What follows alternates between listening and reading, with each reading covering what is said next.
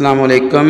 تمام اسٹوڈنٹ کو on line classes کے اندر خوش آمدید کہتے ہیں کہ آج جو بک سوکس کا لیکچر نمبر ون اور باب نمبر ون تحریک پاکستان ہے۔ تو تحریک پاکستان، یہ پاکستان کو حاصل کرنے کے لیے جو تحریک چلائی گئی اور اس تحریک کے کاوشوں پر اور کوششوں کے بعد اور قربانیوں کے بعد یہ ہماری آزاد خدا داد ملک پاکستان چودہ اگست انیس سو سینتالیس کو مارد وجود میں آیا۔ تو بیسویں صدی میں بہت سی قوموں کو آزادی نصیب ہوئی اور کئی آزاد اور خود مختار دنیا کے نقشے پر ریاستیں آئیں وجود کے اندر۔ اور تمام ریاستیں جو وجود کے اندر آئیں، ان کے آنے کے اندر مختلف نظریات تھے، جن کے اندر بیشتر ممالک میں نسل، زبان اور علاقے کی بنیاد پر وہ تخلیق میں تخلیق ہوئیں اور ان میں سے ایک واحد ملک پاکستان ریاست جو ایک نظریے کے اوپر جو دوسروں سے مختلف لیکن پاکستان کی بنیاد بالکل منفرد اور جدا گانا تھی۔ کیوں؟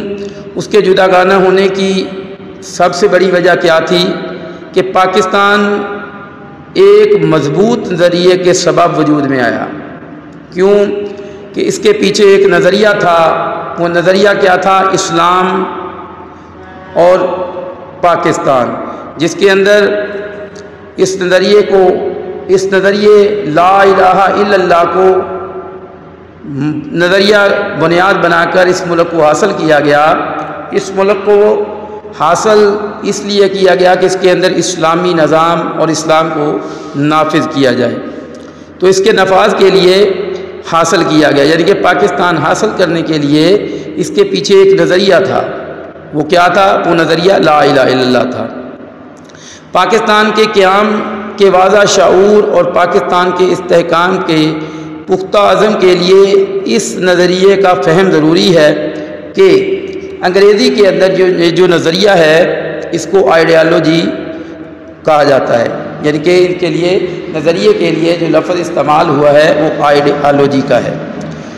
اور آئیڈیالوجی کی اور نظریے کی جو وضاحت ہے، وہ مختلف رائٹر نے اپنی الفاظ کے اندر کی ہے۔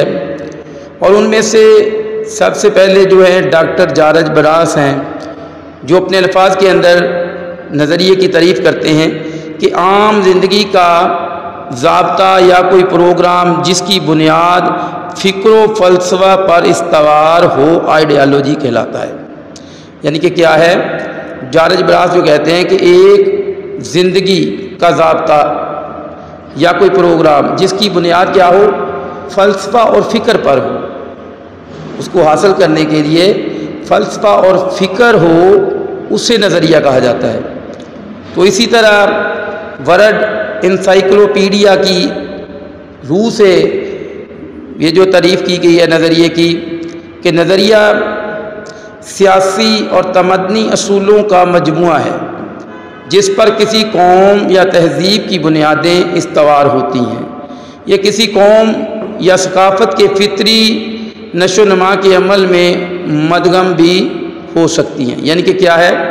کسی قوم یا ثقافت کے اندر فطری نشو و نما میں کیا ہے کہ یہ تھوڑی سی مدم بھی پڑ سکتی ہیں یعنی کہ وہ نظریہ جس کے ذریعے ہم کسی قوم یا ملک یا ثقافت کے ذریعے ہم پاکستان جس طرح ایک نظریے کے اوپر حاصل ہوا، اسی طرح دوسری قومیں جو نسل اور زبان کے اوپر حاصل ہوئیں، ان کے اندر یعنی کہ کیا ہے، وہ اختلافات بھی ہو سکتے ہیں جس کی وجہ سے وہ حاصل کرنے کے اندر تھوڑا سا مدغم بھی ہو سکتا ہے۔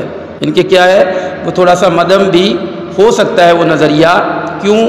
کہ اس کی وجہ، کیونکہ ثقافت اور قوم، یہ دیکھیں، مختلف قومیں ہیں، ان کی مختلف ثقافت ہے۔ یعنی کہ تمام قومیں ان کی ایک ثقافت نہیں ہے۔ اور ایک ریاست کے اندر بہت سی قومیں ہوتی ہیں جن کی مختلف ثقافتیں ہیں اور ان کے اندر اختلافات آ سکتے ہیں۔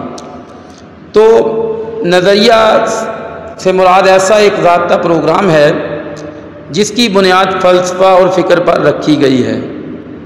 انسانی زندگی کے مختلف پہلو، مثلا سیاسی، معاشرتی اور تہذیبی مسائل کے حل کے لیے کوئی منصوبہ بنایا گیا ہو۔ یعنی کہ کیا ہے کہ نظریہ ایک ایسا پروگرام ہے جس کے تحت فلس یعنی کہ فلسفہ اور فکر ہو، دونوں چیزیں اس کے اندر پائی جائیں۔ اور انسانی زندگی کے مختلف پہلو ہیں جس کے اندر وہ نظریے کے مطابق سیاسی پہلو بھی ہیں اور معاشرتی اور تہذیبی مسائل بھی ہیں۔ تو یہ تمام کے تمام یہ مسائل جو ہیں، ان کی، ان چیز کو نظریے کے ساتھ یعنی کہ اس طرح نہ ہو کہ ان کے اندر یعنی کہ نظریہ اور اس کا ٹکراؤ ہو۔ اسی لیے جب بھی کوئی ریاست یا کوئی قوم جو مارد وجود میں آتی ہے تو اس کو مد نظر رکھا جاتا ہے کہ اس کے اندر سیاسی اور معاشرتی تہذیبی یہ تمام کے تمام جو ہوتے ہیں لوگ رہنے والے، ان کے تمام کے معاشرتی حقوق ہوتے ہیں، مذہبی حقوق ہوتے ہیں، سیاسی ہوتے ہیں، تو ان تمام کو مد نظر رکھا جاتا ہے۔ کیونکہ نظریہ تبھی کامیاب ہوتا ہے یا ملک تبھی کامیاب ہوتا ہے جب اس کے اندر رہنے والوں کے تمام نظریات کی قدر کی جائے، تمام کو مد نظر رکھا جائے۔ جیسا کہ نظریہ پاکستان ہے، نظریہ پاکستان ایک نظریاتی مملکت ہے، لیکن اس کے اندر بہت سی قومیں آباد ہیں، بہت سی نسلیں ہیں یعنی کہ بہت سی تہذیبیں ہیں اس کے اندر۔ تو وہ کیا ہے؟ وہ تمام اپنے مذاہب کے مطابق اپنے زندگی گزار رہے ہیں، اپنی ثقافت کو ادا کر رہے ہیں۔ تو اس کے اندر یعنی کہ آزادی رائے صاحب کو حق حاصل ہے کہ وہ اپنی قوم و نسل کے مطابق حاصل کیے گئے اس ملک پاکستان کے اندر، پاکستان کا شہری ہونے کے نظر سے وہ تمام ان کو آزادی رائے حاصل ہے۔ اور اسی طرح جیسا کہ پاکستان ہے یہ اس کا فلسفہ دین اسلام ہے۔ یعنی کہ نظریہ پاکستان اس کا فلسفہ کیا ہے؟ دین اسلام ہے۔ تو پاکستان میں تمام تر اساس دین اسلام اور یہ وہی لایا عمل ہے اور جذبہ ہے جو تحریک پاکستان کے کامیاب ہونے کے اندر سبب بنا۔ کیوں؟